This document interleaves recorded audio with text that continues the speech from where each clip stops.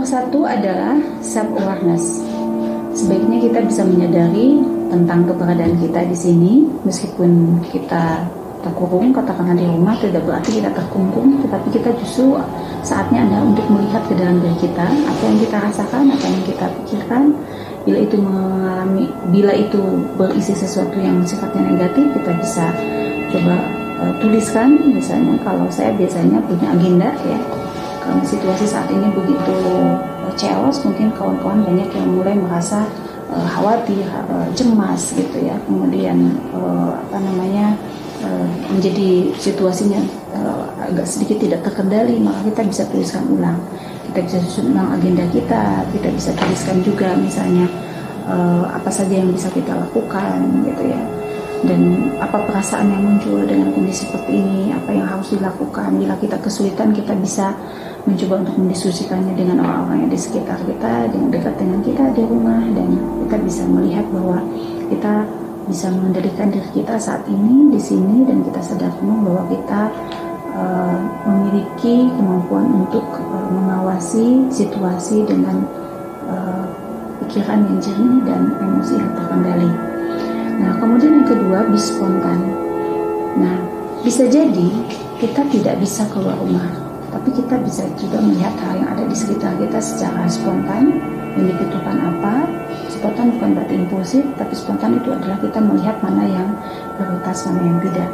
Kita bisa lihat bahwa kebutuhan di rumah misalnya adalah yang utama adalah kebersihan maka kita bisa bersih bersih kebutuhan utama kita tentang uh, kebutuhan makan misalnya mungkin kita lebih fokus kepada bagaimana kita menyediakan makanan yang bergizi buat keluarga atau kita bisa melakukan apa saja yang menurut kita itu sesuatu yang uh, menyenangkan dan tidak perlu uh, menjadi beban buat kita. Katakanlah kita cuma tidur tiduran atau kita santai saja menulis. Kalau saya sekarang sedang menulis buku misalnya berusaha untuk belajar menuliskan uh, ide-ide saya atau catatan-catatan nama saya kemudian mudah-mudahan itu bisa disusun menjadi sebuah buku ya.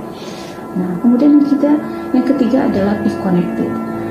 Kita di rumah sekarang punya keluarga besar atau keluarga batik, keluarga kecil yang selama ini mungkin sempat agak terpisah karena yang satu bekerja, yang satu kuliah gitu kan.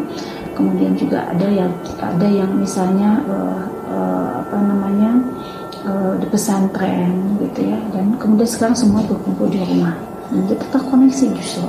Kita bisa melihat bahwa kita bisa membangun hubungan yang lebih baik melakukan uh, apa namanya kegiatan bersama-sama yang selama ini tidak bisa kita lakukan. Makan bersama melakukan aktivitas bersama-sama gitu ya. Lalu yang keempat be reconnected ya kadang-kadang kita punya orang-orang yang justru terpisah karena kita social distance.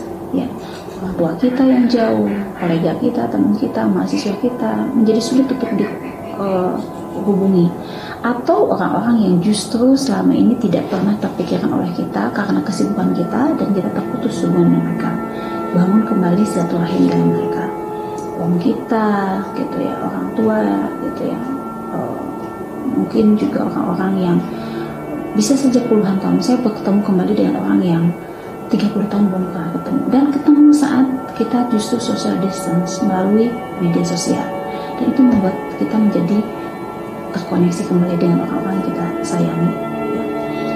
Yang kelima ada be mindfulness. Nah, be mindfulness artinya bagaimana kita menyadari diri kita saat ini di sini dengan tubuh kita yang ada di sini. Biasanya saya lakukan itu sambil duduk tenang, misalnya di suatu tempat yang uh, kita rasa nyaman. Ya, kalau duduk di kursi seperti ini, misalnya mungkin uh, tidak nyaman, gitu ya. Kalau untuk kita melakukan latihan uh, mindfulness kadang-kadang saya biasanya lakukan dengan uh, sambil uh, melakukan uh, latihan olah nafas. Nah, tapi bisa saja kita lakukan misalnya di kursi. Ya. Karena kursi ini buat saya cukup nyaman, jadi teman-teman boleh lakukan sambil uh, pose seperti orang yang melakukan meditasi, misalnya ya, dengan kaki disilang, kemudian tangan bisa disimpan di uh, tempat yang nyaman, begitu. Nah, tapi yang utama adalah bagaimana kita berkomunikasi dengan tubuh kita. Selanjutnya adalah be kreatif. Teman-teman sekalian, saya yakin dan saya percaya setiap orang punya hobi dan bakat-bakat tertentu. Kadang-kadang kita nggak punya waktu ya pada saat kita di rumah kita punya cukup banyak kesempatan untuk mencoba merenungkan kembali dan menemukan kembali hobi-hobi kita dan hobi itu bisa produktif loh saya misalnya bisa membuat hal semacam ini ini menarik sekali. Namanya juga ibu-ibu ya kita pakai kerudung kita bisa pakai. Cantik bukan? Atau misalnya kita bisa menulis buku ya. Jadi kita bisa menulis buku. Dan saya juga belajar membuat buku yang selama ini misalnya cuma outline aja sudah bertahun-tahun. Nah sekarang kita punya waktu untuk kreatif menuliskan menuliskan ulang. Atau menyusun puisi. Oke. Baik ibu-ibu yang senang masak misalnya bisa berkreasi lalu bisa dikemas ditawarkan kepada tetangga gitu kan. Nah banyak orang yang kemudian uh, tertolong sekali dengan apa yang kita lakukan. Di kreatif lalu be meaningful. Ya coba kita renungkan. Apa sih sebenarnya yang terjadi? Oke bahwa ada wabah luar biasa. Ya dan itu melanda seluruh dunia. Bukan cuma kita yang terkurung di rumah semua orang. Apa maknanya buat kita? Lalu be humorous. Mencoba belajar untuk menanggapi segala sesuatu yang kita hadapi ini dengan cara humor.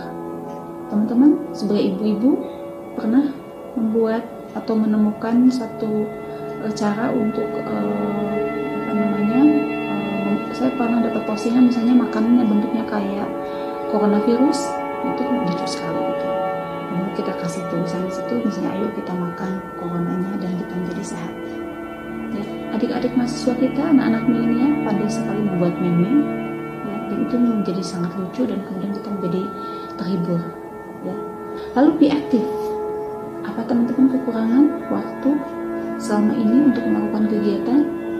Saya kira pasti banyak sekali kegiatan yang bisa kita lakukan. Menurut saya waktu 24 jam itu tidak pernah cukup.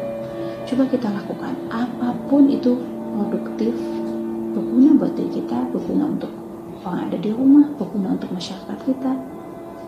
Tidak ada yang tidak mungkin. Kita bisa lakukan apa pun, meskipun itu di rumah. Ya. Dan yang terakhir ada be religious teman-teman sebentar lagi Ramadan bagaimanapun juga banyak orang yang merasa takut sekali merasa sangat-sangat dekat sekali dengan kematian menjadi sulit sekali untuk bisa beribadah tidak bisa ke masjid tidak bisa ke gereja tidak bisa berkumpul di majlis taklim ya tapi di rumah kita bisa lakukan.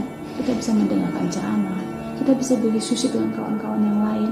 Kita bisa bisa membuka buku buku kajian yang kita buka sendiri pelan-pelan. Membaca kitab-kitab. Membaca ayat suci Al-Quran ya. Kemudian atau kitab teks kitab uh, yang lain mungkin bukan untuk non muslim. Dan kita bisa merenungkan intinya. Dan kita bisa berusaha untuk terkoneksi dengan Tuhan anggap saja misalnya ini adalah waktu yang sangat-sangat terbatas buat kita untuk hidup. Ya karena kita nggak tahu dunia begitu rapuh dan kita tidak tahu besok lusa siapa yang terkena atau mati. Ya sehingga hidup kita menjadi lebih berharga. Oke? Okay? jadi tetap sehat bahagia dan bermakna hidup ini dengan tetap ada di rumah. Oke? Okay? selamat selamat mencoba.